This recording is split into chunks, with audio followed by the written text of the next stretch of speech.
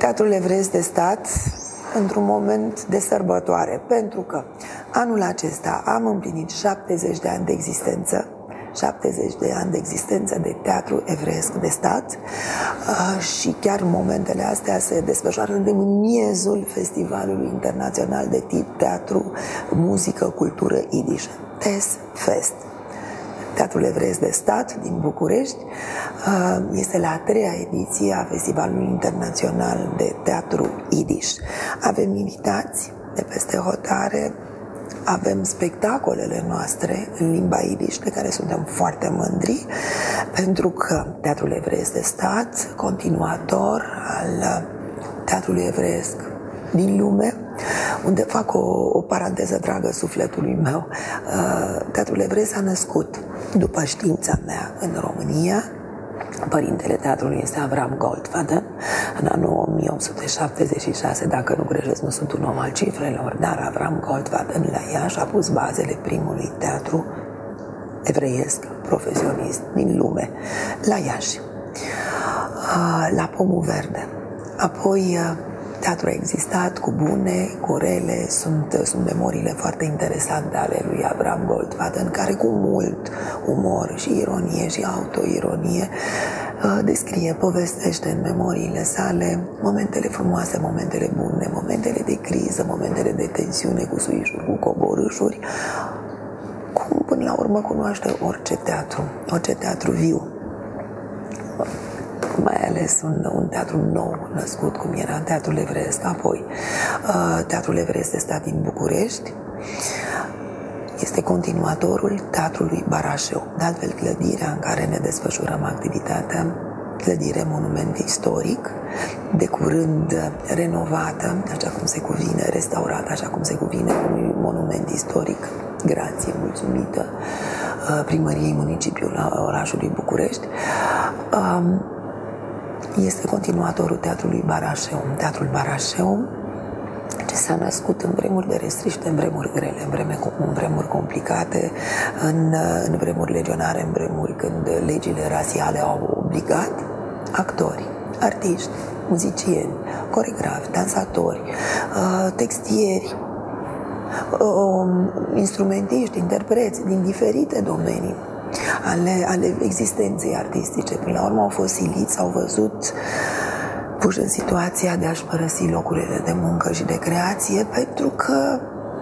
la modul propriu și concret vorbim, punctual, uh, unii nu, nu au mai fost lăsați nici măcar să intre peste noapte în instituțiile publice sau private unde desfășurau activitatea. Teatrul Barașeum s-a născut la 1 martie 1941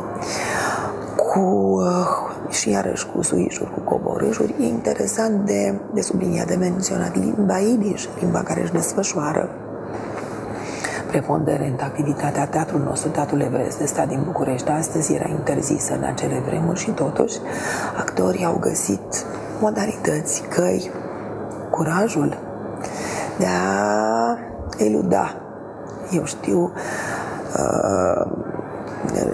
acele legi, acele decrete ce îi, obligau, ce îi obligau, ce îi constrângeau să nu folosească limba, pentru unii limba maternă, mameluș, idiș, limba maternă idiș. Și limba idiș a continuat, a existat, a supraviețuit, merge mai departe. Uh, Teatrul Evreiesc de Stat din București s-a născut și a continuat și duce activitatea cu spectacole, cu spectacole importante, cu, cu artiști, cu generații de, de artiști ce se succed, mari artiști. Au, au slujit scena Teatrului Evreiesc de Stat din București, Dina König, Lia König, fica Dinei König, Mauriciu Seckler, uh, Sadie Glück, Manoripel și sunt mulți și sunt foarte mulți. Uh, domnul Rudi Rosenfeld, pentru care am, uh, am un cuvânt de dragoste și de recunoștință, ne-a, ne-a părăsit prematur, ne-a părăsit nu de mult și o grea lovitură teatru, pentru teatrul nostru. Trisia Abramovici, Bebe Bergovici, ei formau un, uh, o tripletă,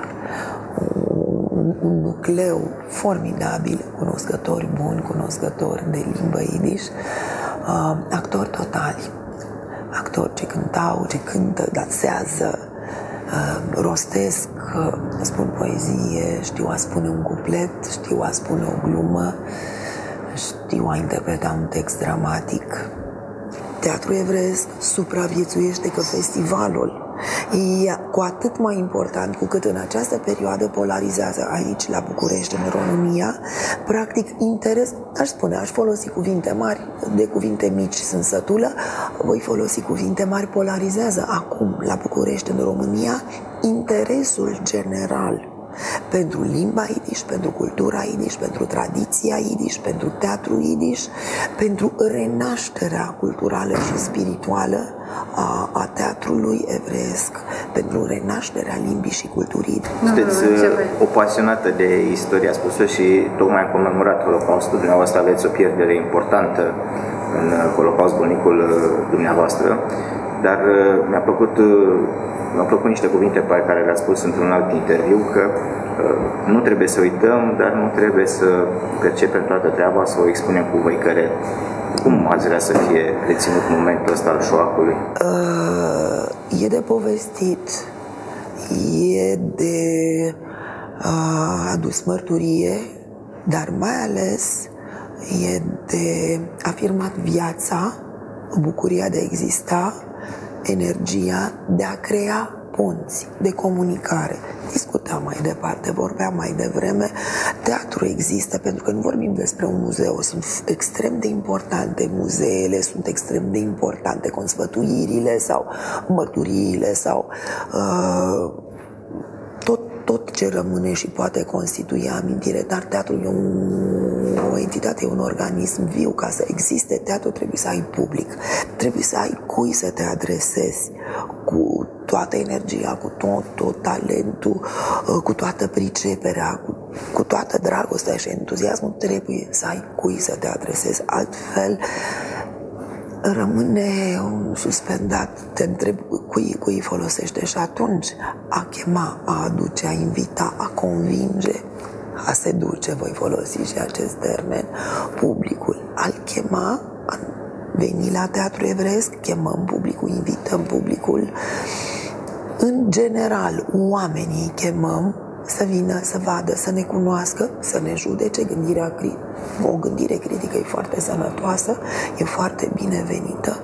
Transmitem cunoaștere, nu-i de neglijat deloc și latura, factorul educativ al teatrului,